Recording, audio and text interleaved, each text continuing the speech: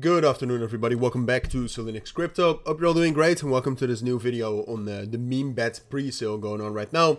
Uh, wanted to do a little bit of an update. Some people DM'd me on, on Telegram to do an update on this, and just in general give you my thoughts on, on what's going on right now. It's a relatively slow pre-sale. They only raised $300,000 at this point of time. Uh, but I talked about this uh, last week as well, or two weeks ago or something. And I do think this has potential. Now, um, we'll talk a little bit later about what if, if I actually would like to buy this, yes or no. Uh, I haven't bought it so far, just for transparency. And if you want to check this out, or if you want to buy this, um, I'll leave links down in the description. But first, let's talk a little bit about what the project is. So it's it's it's a new crypto casino. All right, that's very simply what it is. And now they're they're organizing some uh, relatively big airdrops for when the casino is live, because at this point of time the the casino is not live yet, or at least not not as far as uh, I know. Maybe it uh, maybe it launched uh, last night.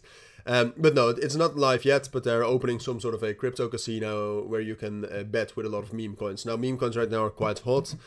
Uh, and like I said, they're organizing a big airdrop for those who play on the casino. So I do think it gets used. And what I said last week, and that is also true, um, is that uh, casinos in, in the past, if you, for example, think about TG Casino, which uh, also did a pre sale launch, um, that did quite well. And at this point of time, it's actually still trading above the pre sale price.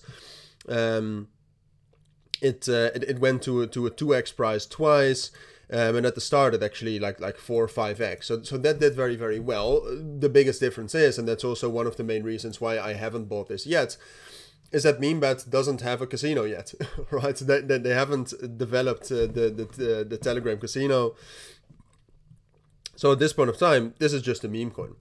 Do I think it has potential? Yes. Um, the, the the main opportunity with these crypto casinos especially when they're incentivizing playing on their casinos, is that they actually have revenue, and therefore outside of the pre-sale funds they're, they're raising, they actually have some funds to do some exchange listings or some some buybacks.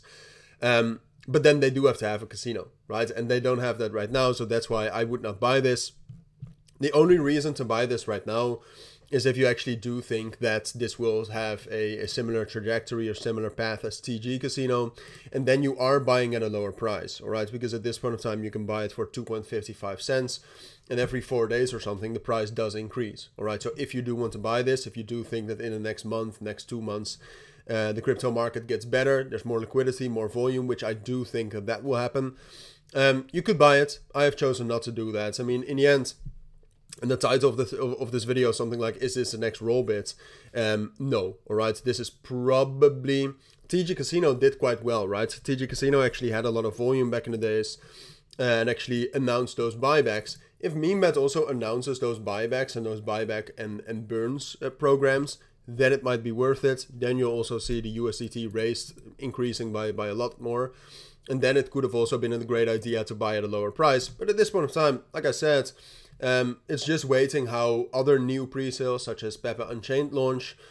Uh, if they launch good, then this becomes this also becomes a better buy, or this also has more potential.